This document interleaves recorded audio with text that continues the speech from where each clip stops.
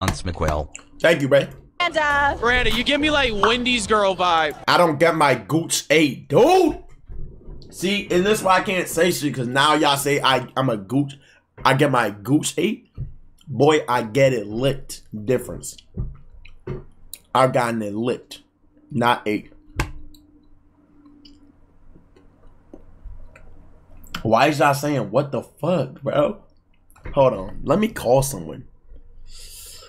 Dope. You've gotten your goose lick and it felt good, nigga. You liked it. I ain't got my ass ate though. I.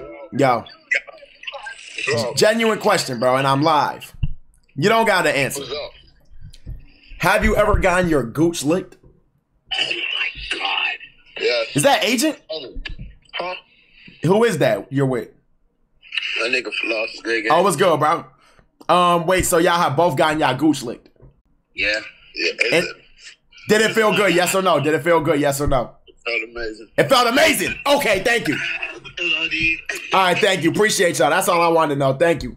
All right, y'all. Pause. Y'all is little ass boys. Did I say I want my asshole licked in and out clean like motherfucking Mexicans Butler style? To say the N word, I Indians allowed to? Nigga, I don't care, bro. Uh, go ahead, say the N word, nigga. I'm not gonna beat you up if you call if you say what's up, my nigga, to me. I don't give a damn.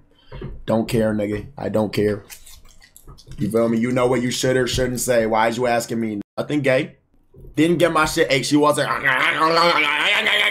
She wasn't tearing me up, bro. These niggas don't beat no cheeks. Thank you, bro. I'm trying to tell niggas. You never, bro. Niggas be acting like I'm gay for getting like, are you stupid, boy? Right now. no way.